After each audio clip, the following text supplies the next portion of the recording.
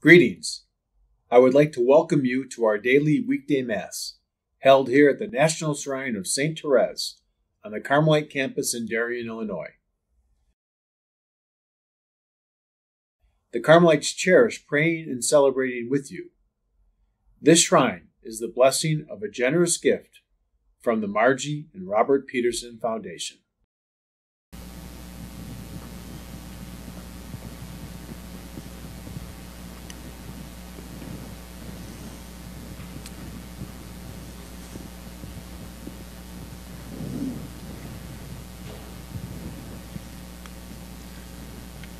Welcome to the National Shrine of St. Therese. We invite you and those who will join us virtually later on during the day. And the intentions for today's Mass are the intentions of the members of the Little Flower Society, the Infant of Prague, and a memorial for Saint Bertol and Jonas Jubinus, as well as our own intentions. So let us begin our celebration by blessing ourselves in the name of the Father and of the Son and of the Holy Spirit. Amen.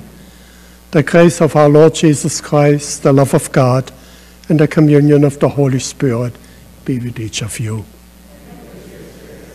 Coming into the Lord's presence, we ask for forgiveness and healing, especially for the times when we restricted our loves only to those that are friends of ours or those that we care.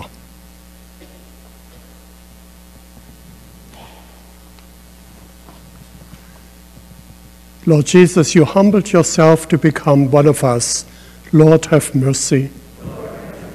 Christ Jesus, you showed us the way of, to God's reign.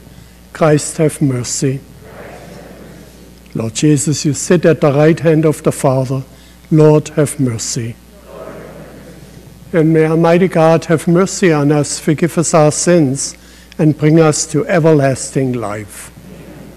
Let us pray.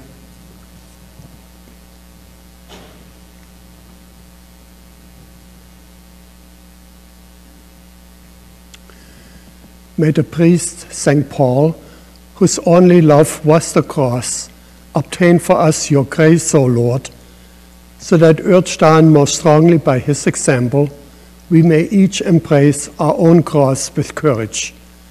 Through our Lord Jesus Christ, your Son, who lives and reigns with you in unity of the Holy Spirit, one God, forever and ever.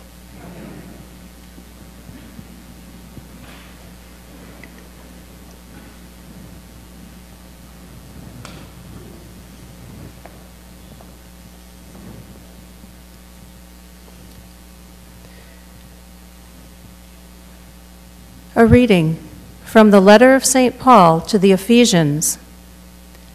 Brothers and sisters, I kneel before the Father, from whom every family in heaven and on earth is named, that he may grant you, in accord with the riches of his glory, to be strengthened with power through his Spirit in the inner self, and that Christ may dwell in your hearts through faith, that you, rooted and grounded in love, may have strength to comprehend with all the holy ones what is the breadth and length and height and depth, and to know the love of Christ that surpasses knowledge, so that you may be filled with all the fullness of God. Now, to him who is able to accomplish far more than all we ask or imagine, by the power at work within us, to him be glory in the church and in Christ Jesus to all generations, forever and ever. Amen. The word of the Lord. Thanks, Thanks be, to, God. God. The earth is full of the goodness of the Lord. The, earth, earth, is full of the goodness, the goodness of, of, the, Lord. Lord. Exalt you just in the Lord. Praise from the upright is fitting.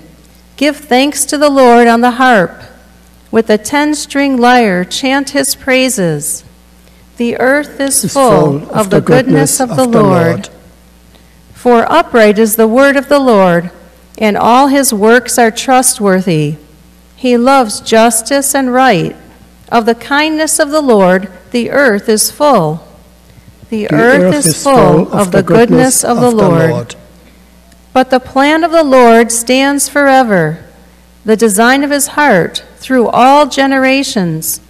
Blessed the nation whose God is the Lord, the people he has chosen for his own inheritance.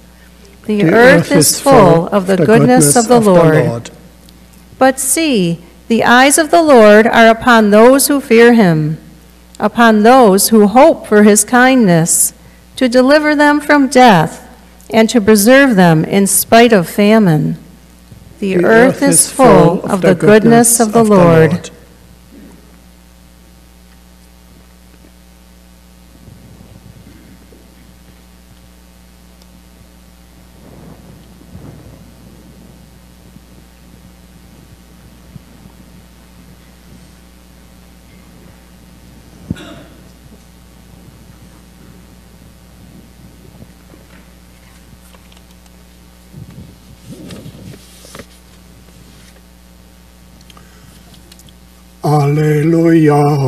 Alleluia, Alleluia, Alleluia, Alleluia, Alleluia. I consider all things so much rubbish that I may gain Christ and be found in him. Alleluia, Alleluia. Alleluia. The Lord be with you. A reading from the Holy Gospel according to Luke.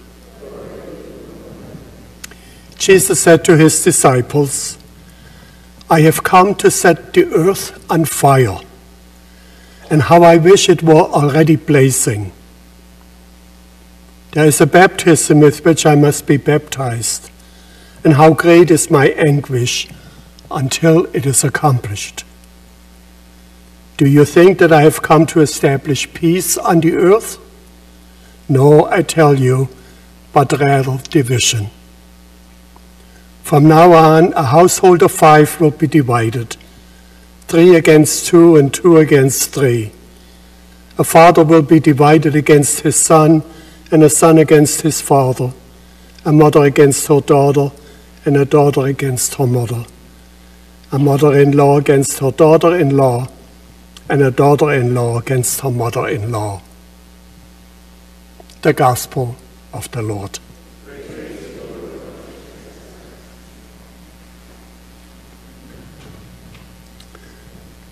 My dear friends in Christ,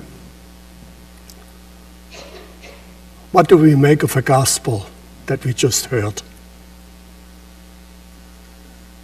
Yeah, in two months we celebrate Christmas, the coming of Christ, the peacemaker. And today he's talking about division. Just the opposite. The scripture readings, both of them today, speak about God's love for us. And I'm sure there are many different ways that we can explain what love means to us, what it means to others. The spectrum is as wide as it can be. But what is Jesus, what is God's love all about? The true love. Well, today we know that one of the symbols that is used for love is fire. Fire is considered one of humankind's greatest discoveries, but it also has many biblical references. God used a fiery column when he brought the Jewish people out of Egypt, out of slavery, into the promised land. He talked to Moses in the burning bush. John the Baptist, who prepared the way for the Lord, says, One is coming who will baptize you with the Holy Spirit and fire.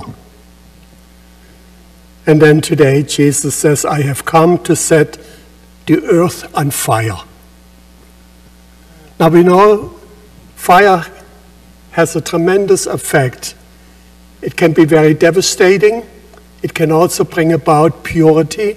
It can bring about a transformation, a change. All of these different explanations give us a little bit of insight into what love is about.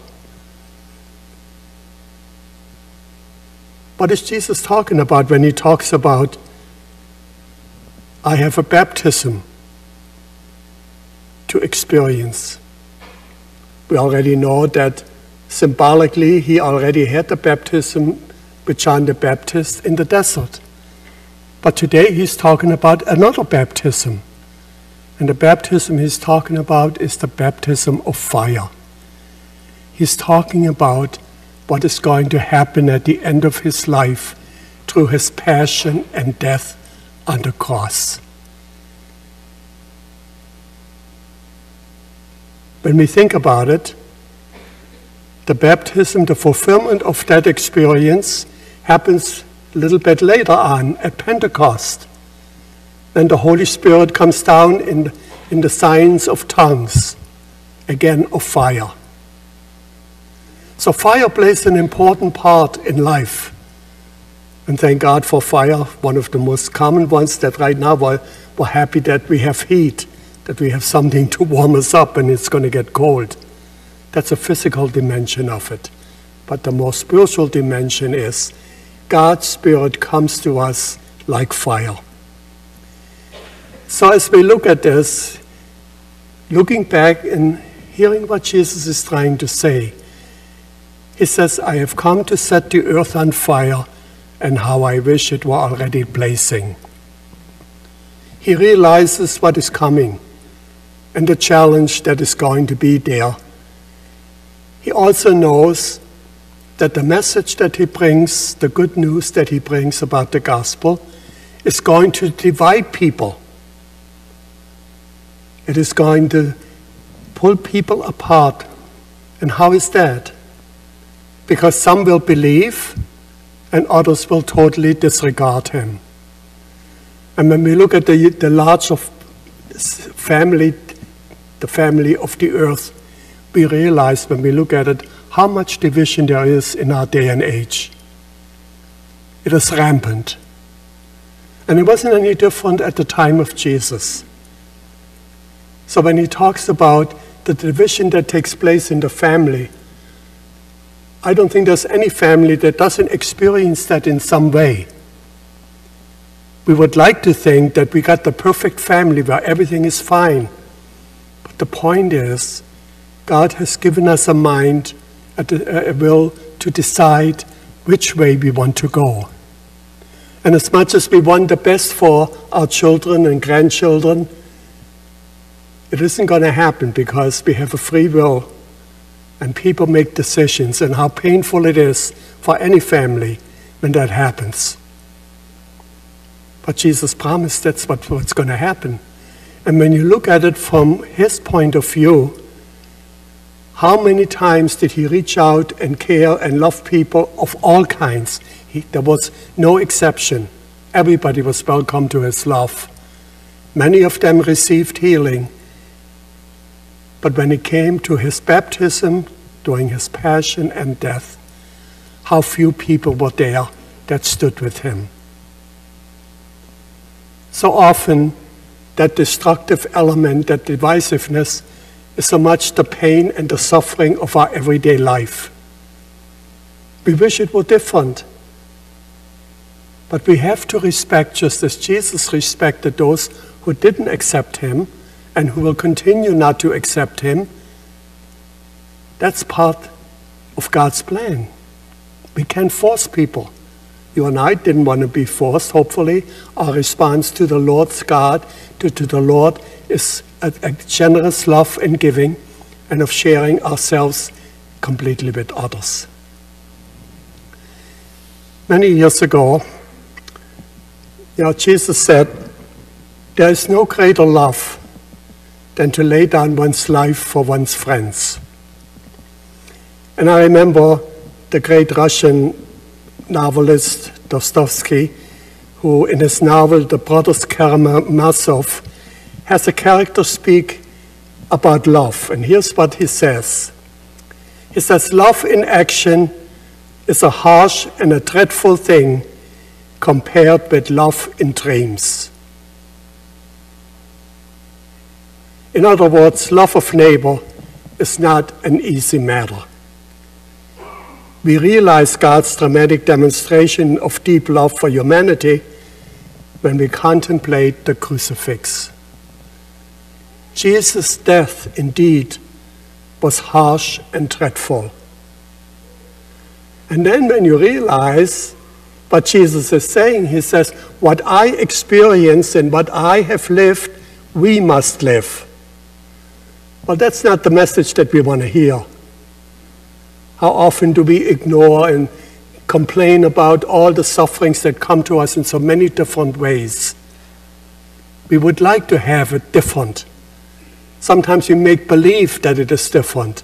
It's like when somebody says, How are you feeling today? Oh, I'm okay.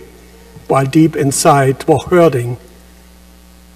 We wish sometimes that we in would have it differently that there would be only peace and that wonderful love that God shares with us. But today He's giving us a different dimension of what also is involved with love. It is a challenge to love as God loves. And I think when we, when we try to do that, we run into difficulties because our selfish love gets into the way. Selfish love is what I want. The love that Jesus is talking about is the love that cannot be kept, it needs to be shared. And that's why when he says, I have a baptism of fire to experience, he's talking about when he realizes, and one of my favorite quotes you know, from the scriptures, of course, is when Jesus looks at each of us and he says, Father, forgive them, for they do not know what they're doing. He's talking about me. He's talking about you. And then he is saying, As I have lived and as I love you, you and I must live in the same way. That's when it gets challenging. We're looking for the easy way out, and it isn't. There is no easy way out. So then we come back to St. Paul today, where he talks about love, and he says, Love is, it cannot even be imagined But the goodness of love is all about and how God loves us. I always look at it and saying God loves us unconditionally. We cannot earn God's love. It is given to everyone. And then we wonder and say, well, how could that be? Because when we love each other, it is so fickle at times. It is so little or not at all. As a matter of fact, we have the opposite of love. We have hate. And we do that whenever we reject anyone. So, what is God? What is Jesus trying to tell us? What is St. Paul trying to tell us? He says we need to be open to God's love. And when God's love comes into our hearts, and when we open it, there has to be a transformation. There has to be a letting go of the obstacles that prevent us from loving each other as God loves us. Easy? No, I think that makes sense. You know, what the character in the Brothers Karamazov in that, in that story tells us. It is challenging, it's harsh, it is difficult to love unconditionally. And yet, that is what God offers to each of us. So today we celebrate the feast of St. Paul of the Cross. And his whole mission was he looked at that one aspect of Jesus' love, that unconditional love, and the sacrifice that Jesus made in order to redeem us, to bring us back into God's fold. And then he invites us to do the same for each other. St. Paul tells us when we love that way, we cannot even imagine the miracles that will happen. The miracles of us becoming transformed to become more and more like God, who is already present in our lives. But we keep up the walls and say, Not yet. Oh, this is too hard. I can't do this. We have so many different ways of ignoring that and of walking away from it. And in the meantime, we keep suffering the division and the dividedness that comes every day in some way. So today, let us pray the prayer that we often pray Come, Holy Spirit, fill the hearts of your faithful, and kindle in us the fire of your love. Send forth your Spirit, and we shall be created, and you will renew the face of the earth, and you will renew each and every one of us so that we can learn how God loves us.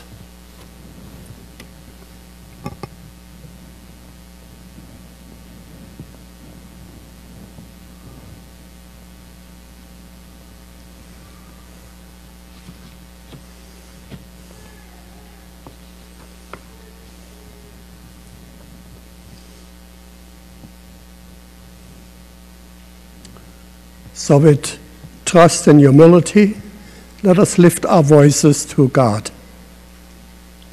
Today we pray for the church that it provides refuge and salvation to all people. Let us pray to the Lord. For leaders at every level, that they include the voices of young people, the elderly, those who have no power, and that they make decisions that will be lasting for everyone. For this we pray to the Lord. For all who claim the name of Christian, that God's spirit of unity may lead us to new opportunities to reach out and to love each other as God loves us. For this we pray to the Lord. For all those who suffer because of the elements of the weather and of the injustices that take place, the refusal of accepting everyone as God's children, that somehow the divisiveness will eventually become peace. For this we pray to the Lord. That we ask the Holy Spirit to guide us and give us the confidence to reach out, especially in times when times when things are difficult, when we don't understand what is happening in our lives, that we give up the, the blaming aspect of that life and put our trust and confidence in the Lord, accepting His invitation to us to pick up our crosses and follow Him. For this we pray to the Lord. For a moment now, let us offer to the Lord our own petitions.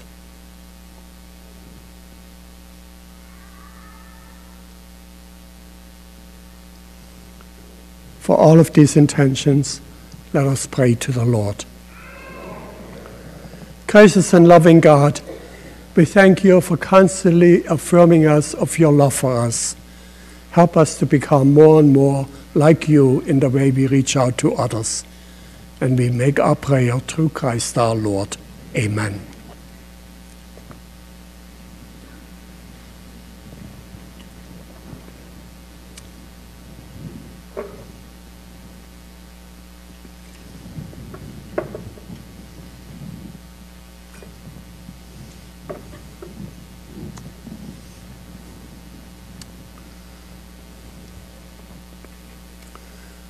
Blessed are you, Lord God of all creation. To your goodness we have this bread and wine to offer, which earth has given and human hands have made. They will become for us our spiritual food and drink. And now let us pray that your sacrifice and mine may be acceptable to God, the Almighty Father.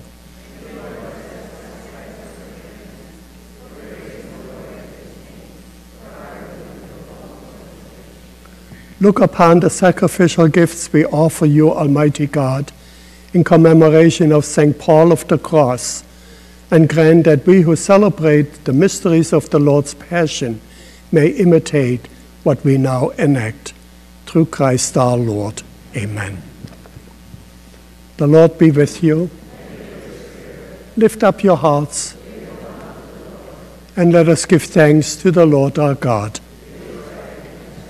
It is truly right and just our duty and our salvation, always and everywhere to give you thanks. Lord, Holy Father, Almighty and eternal God, through Christ our Lord.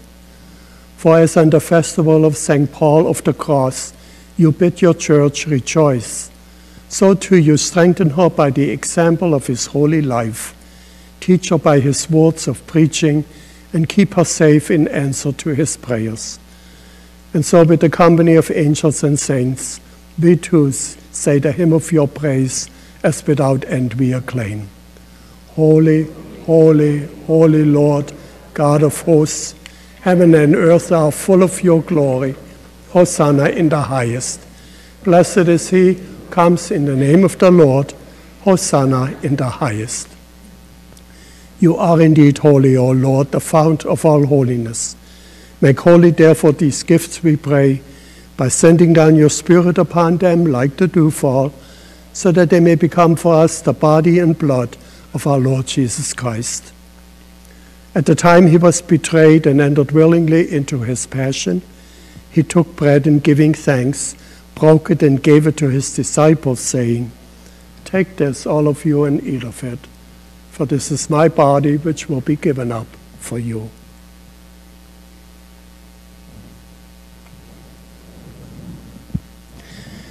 In a similar way, when supper was ended, he took the chalice, and once more giving thanks, he gave it to his disciples, saying, Take this, all of you, and drink from it. For this is the chalice of my blood, the blood of the new and eternal covenant, which will be poured out for you and for all for the forgiveness of sins. Do this in memory of me.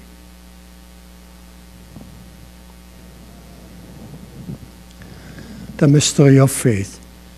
We proclaim your death, O Lord, and profess your resurrection until you come again. Therefore, as we celebrate the memorial of his death and resurrection, we offer you, Lord, the bread of life and the chalice of salvation, giving thanks that you have held us worthy to be in your presence and minister to you.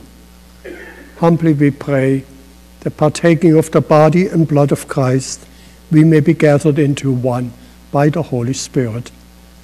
Remember, Lord, your church spread throughout the world and bring her to the fullness of charity, together with Francis our Pope and Ronald our Bishop and all your people. Remember also our brothers and sisters who have fallen asleep in the hope of the resurrection and all who have died in your mercy. And let us take a moment to remember them by name.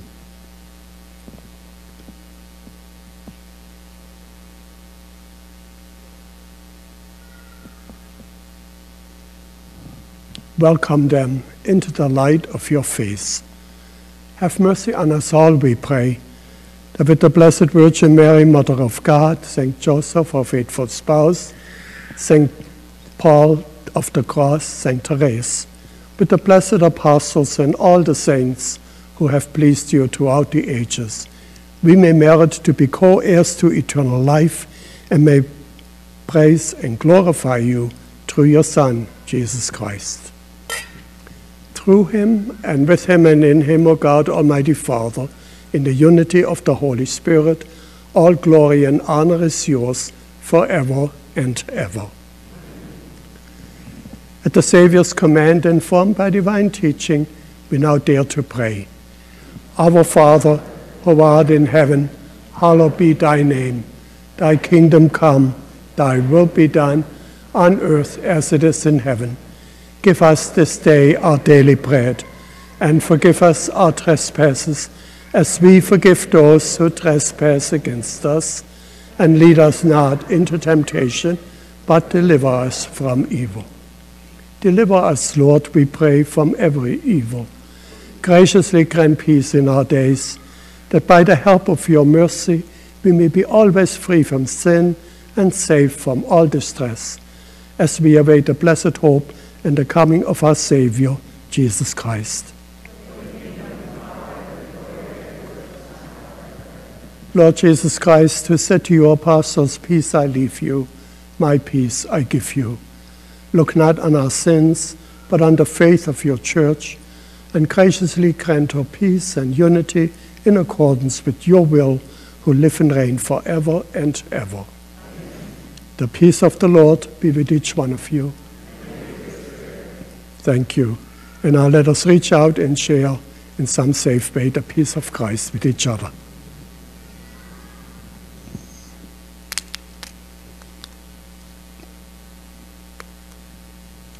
Lamb of God, you take away the sins of the world, have mercy on us.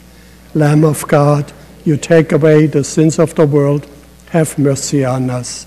Lamb of God, you take away the sins of the world, grant us peace. Behold the Lamb of God, behold him who takes away the sins of the world.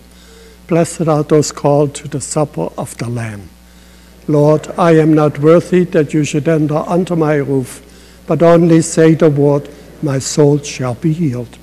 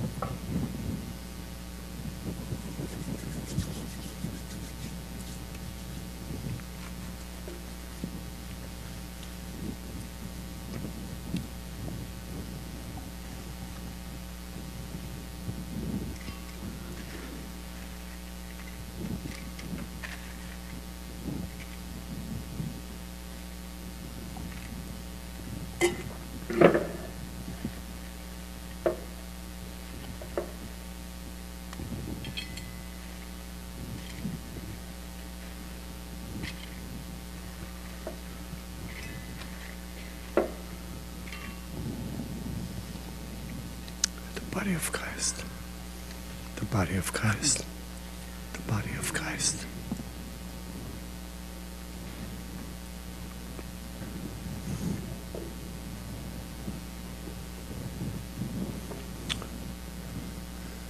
There's somebody in the back with a wheelchair on the side over here, okay?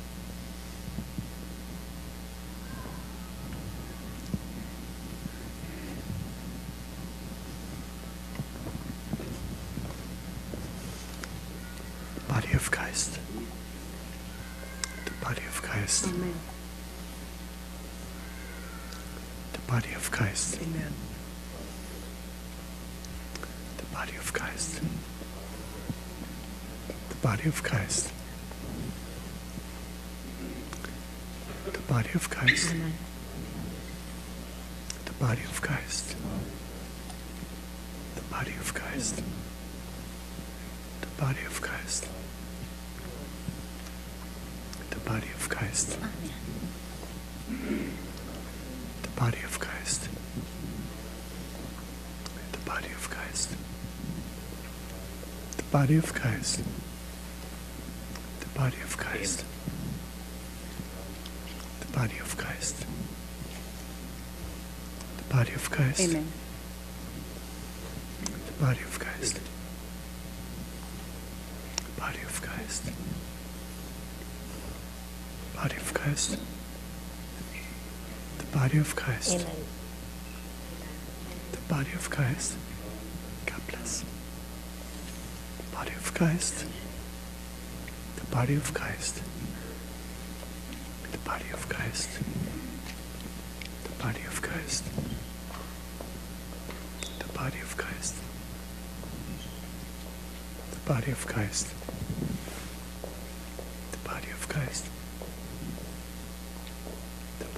Nice.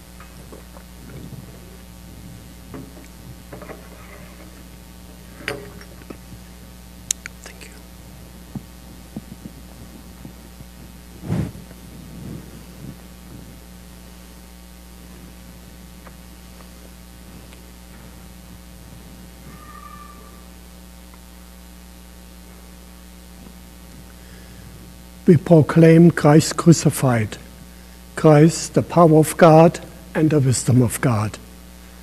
Let us pray. O God, who in St. Paul have wonderfully made known the mystery of the cross, graciously grant that drawing strength from this sacrifice, we may cling faithfully to Christ and labor in the church for the salvation of all. Through Christ our Lord. Amen. The Lord is with you. And may Almighty God bless you, the Father, the Son, and the Holy Spirit. Hail Mary, full of grace, the Lord is with you. Blessed are you among women, and blessed is the fruit of your womb, Jesus. Holy Mary, Mother of God, pray for us sinners, now and at the hour of our death. Amen. Our Lady of Mount Carmel, Saint Therese, Saint Paul of the Cross.